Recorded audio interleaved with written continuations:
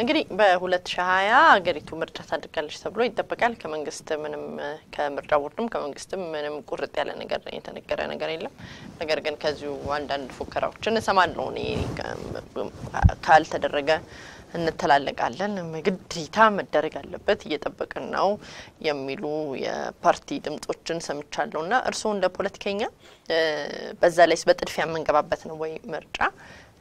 የምርጫ ቦርድ ቁመናውስ ለዚህ የሚያደርሰው ነው ወይ? የህዝብና ቤት ቆጠራ እስካሁን ድረስ አልተካሄደም።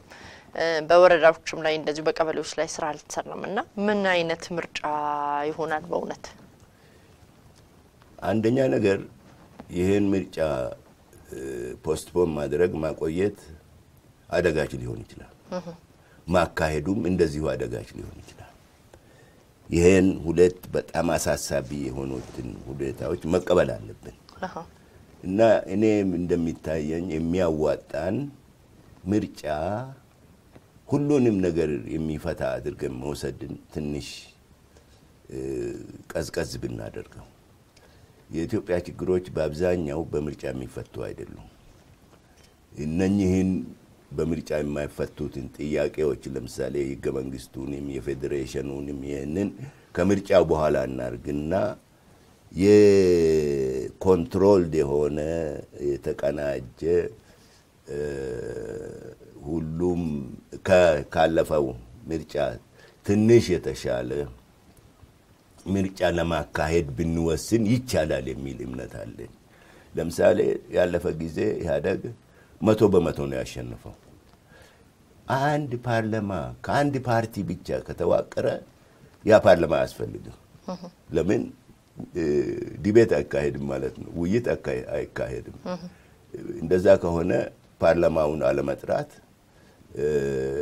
እና ፓርቲ የፓርቲ upper echelon ኡን የሚወስነው መተግበር ነው የሚቀለው። አሁን modest ሆነን ትንሽ diversified የሆነ ፓርላማ እንዲኖረን እና ውይይትን ክርክርንም እንድንለማመድ እሱ ላይ አተኩረን ብንሰራ ይሻላል የሚል እምነት አለኝ። እኔ በበኩሌ ለምርጫ አልወዳደርም። ለሚወዳደሩት ግን እግዚአብሔር ይርዳችሁ እላቸዋለሁ። መደረግም አለበትም የለበትምም አላሉም። እርሱ ዝም ነው። ሁለቱም አስቸጋሪ እኮ ነው። postpone ማድረግም ማቆየቱም አደገኛ ሊሆን ይችላል። አሁን ባለንበት ሁኔታ አካሂዶ ልክ እንደ normal ምርጫ አድርጎ መውሰድም አደገኛ ነው። ስለዚህ moderate እናድርግ። የእኛን expectation ነው የኔ አቋም። መልካም እንግዲህ የዜግነት ፖለቲካ እንዴት ይረዱታል? የዜግነት ፖለቲካ እና የብሔር ፖለቲካ የሚባል ሁለት ጎራ ሰማለሁ አሁን ላይ እና የከሌ ዜግነት ፖለቲካ አራማጅ ነው ይባላል ከቅርብ ጊዜ ወዲህ። ከሌ ደግሞ ብሔርተኛ ነው የብሔር ፖለቲካ ያራምዳል ይባላል። በሁለቱ መሀል ልዩነቶች ይታዩታል ወይስ ምን ማለት ነው? ለእርስዎ ምን ትርጓሜ ይሰጡታል? በየትኛውም ፖለቲካ ተቃዋሚህን በአሉታ በመፈረጅ ውድድሩ ሳይጀመር ለማሸነፍ መሞከር አለ።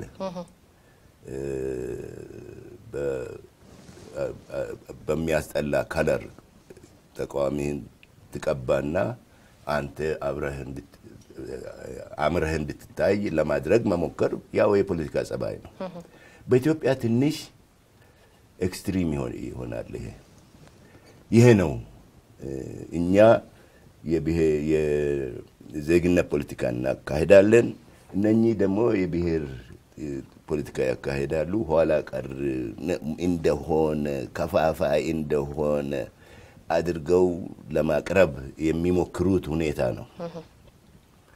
ግን ይሄ በደንብ ካየነው ሁለቱም ልዩነት የለውም። አንደኛ ነገር በኢትዮጵያ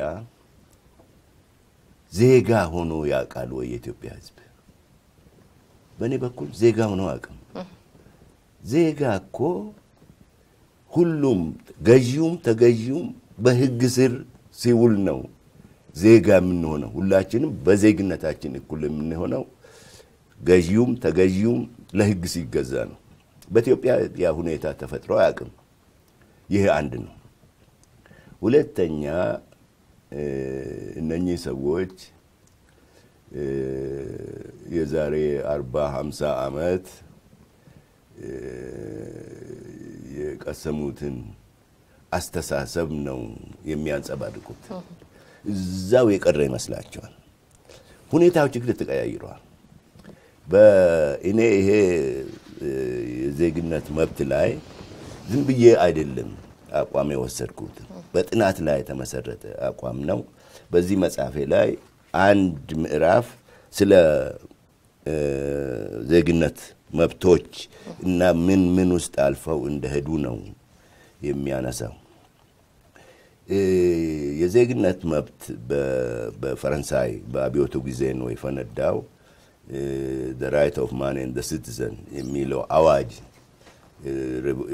አብዮታውያኑ ሲለብሱ ሲያውጁ ነው የተጀመረው። ከዛ ነው የተጀመረው እና ዜግነት እስከ ቅርብ ጊዜ ድረስ አራት መብቶች መከበራቸውን ይጠይቃል። አንደኛ የሲቪል ራይትስ ነው። ይሄ በሕግ ፊት እኩል መሆን፣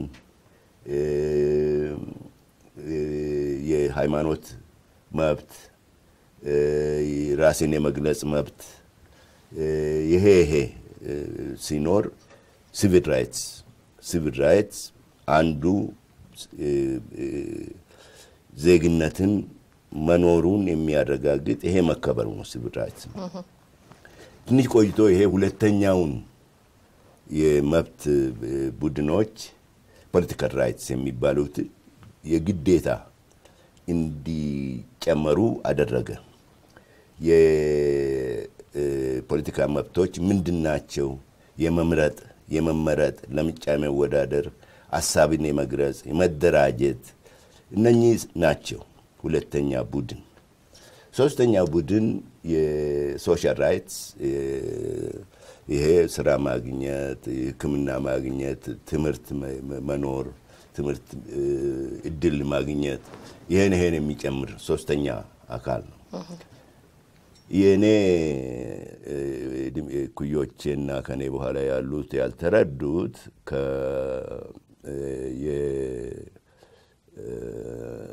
ቀዝቃዛ ጦርነት ካለቀ ወዲህ ሶስተኛ አራተኛ የዜግነት መብቶች ቡድን እንዲጨመሩ የግዴታ ሆነዋል።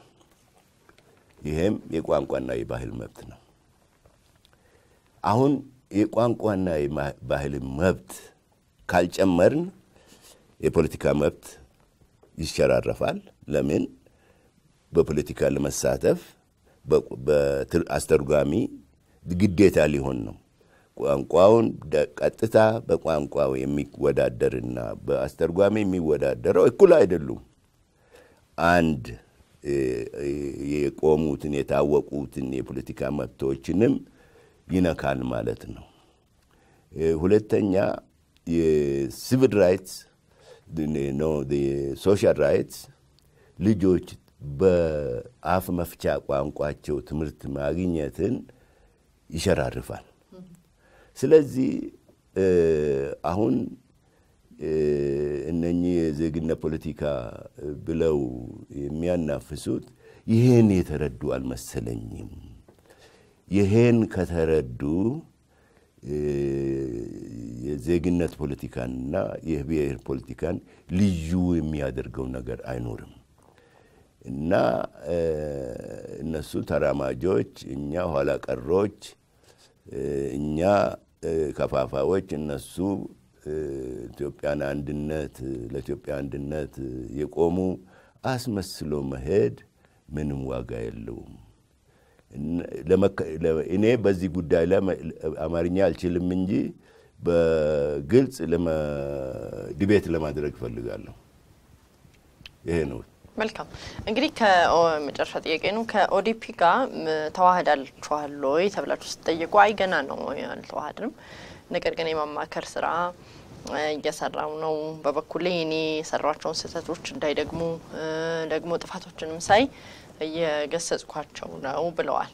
እንግዲህ ለረጅም ዓመት የእርሱ ሀሳብ የነበረው ወይም አንግበውት ሲያቀነቅኑት የነበረው የብሔር ጭቆና አለ። ይህንንም አስመልክቶ የመገንጠል ሀሳብ እንደነበሩት የኦሮሚያ ሪፐብሊክ መፍጠር ህልም እንደነበሩት ይታወቃል። ስለዚህ ጠቅላይ ሚኒስትሩ ኦነግ ሆኑ ወይስ ጠቅላይ ሚኒስትር ዶክተር አብይ አህመድ ኦነግ ሆነዋል ወይስ እርሱ ሆንኩ? ሆኑ? መልካም። አየሽ? dynamic ነው ፖለቲካ። እሺ። ችግሩ በኢትዮጵያ አንዴ አቋም ከወሰን ከዛ ንቅንቅ ማለት እንደ አሳፋሪ ነገር ነው የሚወሰደው። እና ከሁኔታው ጋር መሄድ ካልሄድ ፖለቲካ አይደለም፣ ሃይማኖት ነው። ሃይማኖት እኮ ሃይማኖት ራሱ ከጊዜ ጋር ይሄዳል። አሁን ቤተ ክርስቲያኖች ወንድና ወንድ ሲያጋቡ፣ ሴትና ሴት ሲድሩ እናያቸዋለን። ያው ሃይማኖት ነው፣ ያው አንድ መጽሐፍ ነው የሚያነቡት እና በፖለቲካ ደግሞ የበለጠ flexibility dynamism ያስፈልጋል። እኔ በሰማኒያዎቹ ላይ የኦሮሚያ ሪፐብሊክ እንድትመሰረት ከተከራከርኩት ሰዎች ነን። ግን ያ ሁኔታ እና የነበርንበት በኢትዮጵያ ውስጥ የነበርንበት ሁኔታ እና በአፍሪካ ቀንድም የነበርንበት ሁኔታ ተቀየረ። በሰማንያ ዘጠኝ ዘጠና በዓለም ደረጃ የቀዝቃዛው ጦርነት አከተመ። በአፍሪካ ቀንድ አንድ ሀገር ፈረሰች፣ ሶማሊያ የምትባል አዲስ ሀገር ተፈጠረች፣ ኤሪትሪያ የምትባል። በኢትዮጵያ ደግሞ አዲስ ኃይል ስልጣን ተቆጣጠረ። ይሄ አዲስ ኃይል ጸባዩ፣ ድክመቱና ጥንካሬው ቀድሞ ከነበሩት የተለየ ነው። ልክ ቀድሞ የነበረውን እንዋጋ እንደነበረ ይሄኛውን ስንዋጋ ብዙ እድሎች አምልጠውናል እና ዳይናሚክ የሆነ አስተሳሰብ እንዲኖር በመታገሌ ምንም የሚቆጨኝ ነገር የለም። መልካም እንግዲህ ትውልድ አካባቢው ላይ የእርስዎ የትውልድ አካባቢው ላይ ሰላም የለም፣ በጣም ከፍተኛ ችግር አለ፣ በወለጋ ማለት ነው እና ከፍተኛ ችግር አለ። ህዝቦች ደስተኛ አይደሉም። መሰረታዊ የሆኑ ግንኙነቶች እየተቋረጡ ነው። በተለይ በህዝቡ ላይ ጫና አለብን ብለውኛል። በቅርብ ያገኟቸው የወለጋ ሰዎች በመብራት በውሃ በሌላም በተለያዩ ነገሮች ህዝቡ ጫና ውስጥ ገብቷል እና የሁለት ወንድማማቾች ጥል ህዝቡን በጣም እያጎሳቆለው ነው እና ምን እያደረጉ ነው? በዚህ ላይ ምንስ ነው መፍትሄው? እኔ እንደ ሽማግሌ ልመና ነው ስራዬ። አዎ እነኚህ የተጣሉትም ወገኖች ማቀራረብ፣ በእነሱ መካከል የተፈጠረው አለመግባባት ካለ ያ መፍትሄ እንዲያገኝ በዚህ ላይ እየሰራን ነው። ተስፋ ማድረጋለሁ በቅርብ ጊዜ ውጤቱ ይሰማል። መልካም። እኔ እንግዲህ ጉንፋንም ይዞታል። በጣም ነው የማመሰግነው። ከጉንፋን ላይ አስነስቼ ያመጣሁት አመሰግኖታለሁ። በድጋሚ ደጋግሜ ወደዚህ መጋበዜ አይቀርም። ፖለቲካውን እንዲተነትኑልን የሚሰማውትን እንዲነግሩ ደግሞም እንግዲህ እንደ ሽማግሌም እንዲመክሩ ማስቸገሪያ አይቀርም። በመጨረሻ ማለት የሚፈልጉት ነገር ካለ መልእክቶን ያስተላልፉ። እኔ ግን እግዚአብሔር ይስጥልኝ። ሁለተኛ ትደውይልኝ። እሺ መደወሌማ አይቀርም። እሺ ተመልካቾቼ ፕሮግራሚን በዚህ ጨርሻለሁ። ሳምንት በሌላ ፕሮግራም በሌላ እንግዳ እስከምንገናኝ በያላችሁበት ጤና ይስጥልኝ።